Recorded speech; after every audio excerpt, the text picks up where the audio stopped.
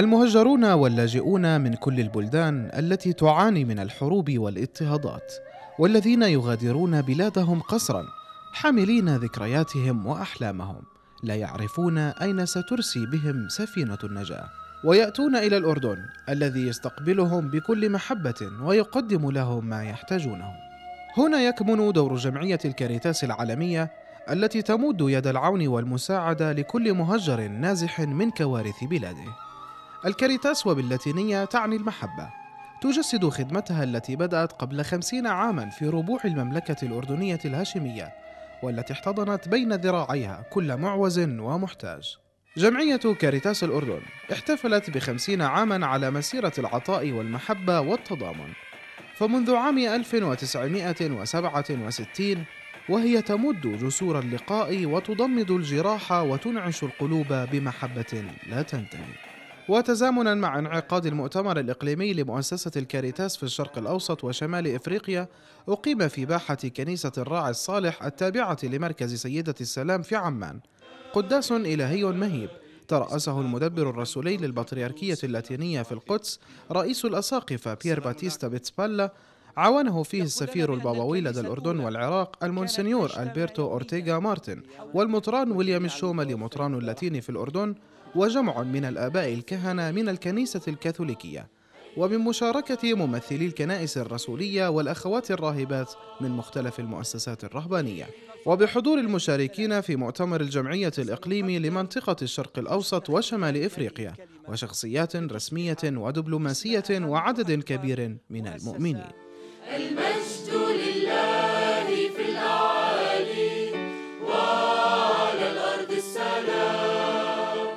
وقدم المطران الشوملي خلال عظته شكره للخدمة اللامتناهية لجمعية الكاريتاس ولكل ما يقدمونه من خدمات وتضحيات في حقل المسيح.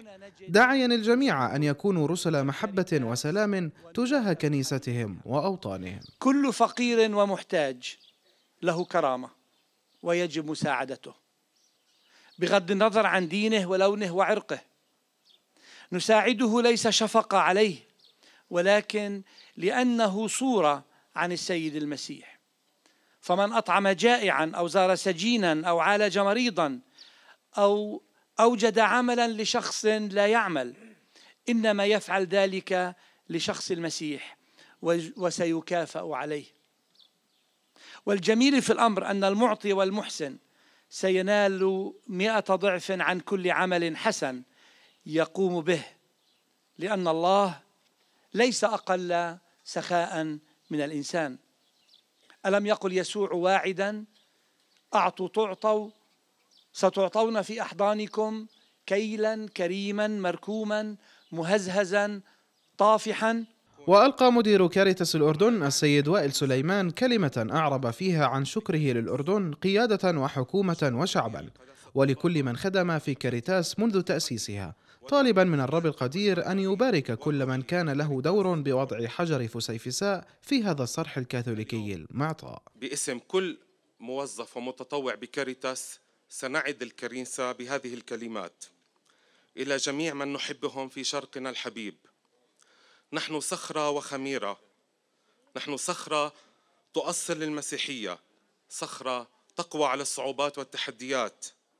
صخرة تشد الجميع إلى رجاء واعد وخميرة بيد ممدودة لبناء الكنيسة وخميرة في كنيسة واحدة خميرة لرسالة في أرضنا. لتكن المحبة أقوى من كل شيء ولنكن ملح أرضنا ونبعا فياضا يروي جذورنا في هذه الأرض. لنكن حبة خردل في كل مكان نتواجد فيه. وليشعر كل من يقابلنا أن يسوع حاضر وحي بيننا. فطوبى لكل من علم وتعلم الحب. كما ألقى السفير البابوي المونسنيور ألبرتو أورتيغا مارتن الرسالة التي وجهها قداسة البابا فرانسيس حيث قدم تهانيه الحارة لكل المحتفلين بهذه المناسبة مفتخرا بكل ما يقدمه العاملين في الكاريتاس من أعمال رحمة وأعمال خير خلال السنوات الماضية. ولفت الشماس جبران سلامة رئيس مجلس إدارة جمعية الكاريتاس في كلمته إلى أن الكاريتاس تمكنت بفضل هذا التعاون من مد يد العون لكل محتاج ولكل من جارت عليه الظروف. شاكرا الجميع على كل ما قدموه من دعم للكاريتاس. ليبارك الرب الكاريتاس ويهب القائمين عليها العزيمة والوسائل من أجل تحقيق أهدافها الروحية والإنسانية النبيلة. والاستمرار في التخفيف من معاناة كل من يلجأ إليها وكل من يرى فيها ومن خلالها بصيصا من الأمل في نهاية النفق شكرا لكم جميعا وبارككم المسيح القائم من القبر بشفاعة أمه البتول التي في شهرها المبارك وفي كل أيام وأشهر حياتنا. آمين. وفي ختام القداس الإلهي الذي أحيته جوقة ينبوع المحبة بأصواتها الشجية وتنظيم مجموعات كشفية متعددة رفعت فيه الطلبات والتقادم أمام مذبح الرب. شاكرين الله على الخدمة الإنسانية العظيمة التي قدمتها الكاريتاس في الأردن.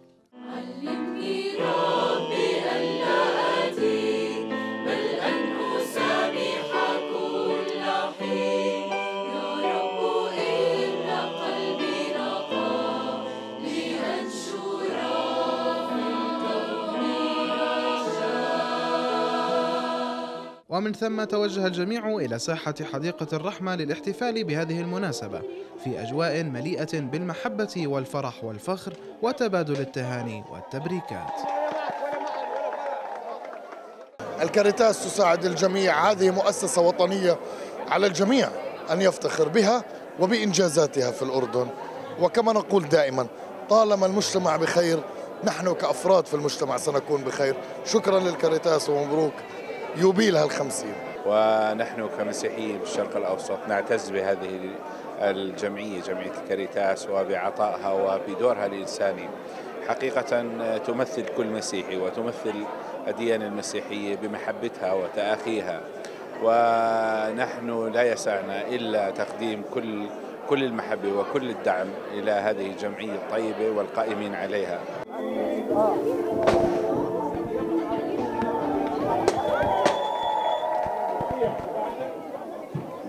Nice, nice.